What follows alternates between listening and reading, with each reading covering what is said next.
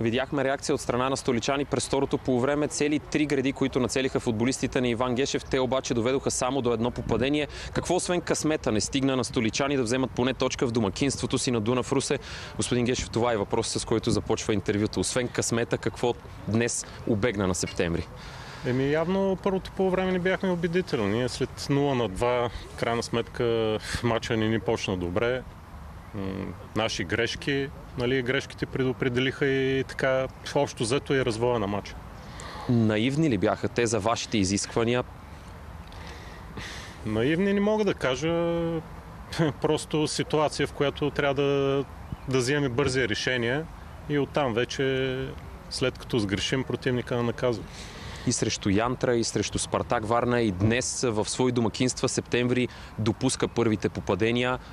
На какво го отдавате вие и правейки преход от първата към втората част, доволни ли сте пък от реакцията, която демонстрираха вашите футболисти днес? Е, на какво го отдавам? Със сигурност има напрежение, което се натрупва. Като минават мачовете, това пф, няма, не е някаква тайна за никой, така или иначе. Явно ни се отразява това нещо. Да, реагирахме днеска добре, можеше да вкараме голове, създадахме ситуации, но в крайна сметка не успяхме и затова загубихме. Как ще се отрази на тази сравнително млада съблекалния този двубой, това поражение? Всеки път казвам, следващия матч ще разберем. Какво ще очаквате тогава в него да видите като реакция, като по-различно представяне от вашите играчи? И със сигурност ще искаме така да се представим добре.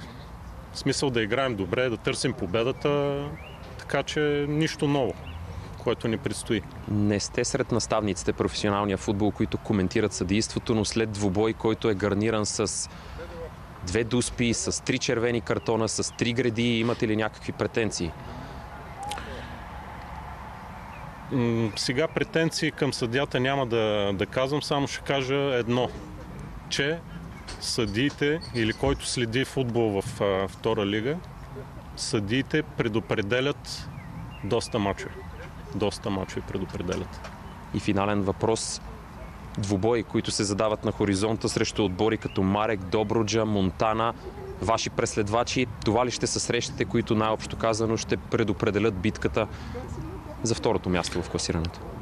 Еми, така се развива първенството, че реално тези матчове ще са изключително важни, така че битката продължава.